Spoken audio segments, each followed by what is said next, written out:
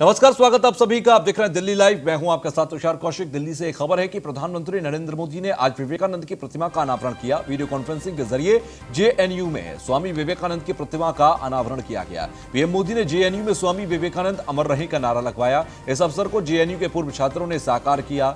भारत के विचारों और परंपराओं को दुनिया के सामने रखा। विश्व बंधुत्व का संदेश पूरी दुनिया में फैलाया। सब तमाम बातें प्रधानमंत्री की तरफ़ से की गई। देश आत्मनिर्भर भारत के संकल्प के साथ आगे बढ़ रहा है। स्वामी विवेकानंद के शब्दों को सही साबित करना है। हमारे कल्चर में चरित्र तय करता है कि कौन जेंटलमैन है।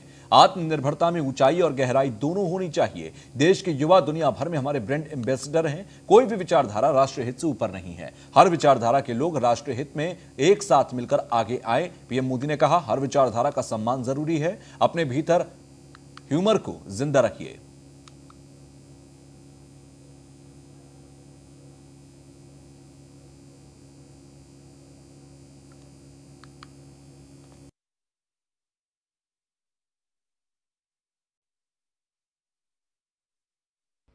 किसी एक बात जिसने हमारे देश की लोकतांत्रिक व्यवस्था को बहुत बड़ा नुकसान पहुँचाया है, वो है राष्ट्रहित से ज़्यादा प्राथमिकता अपनी विचारधारा को देना।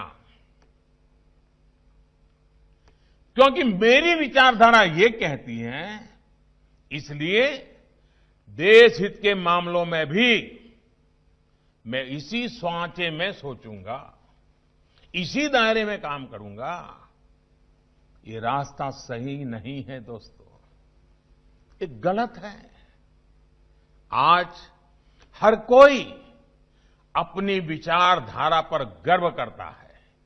ये स्वाभाविक भी है, लेकिन फिर भी हमारी विचारधारा राष्ट्रहित के विषयों में राष्ट्र के साथ नज़र आनी चाहिए।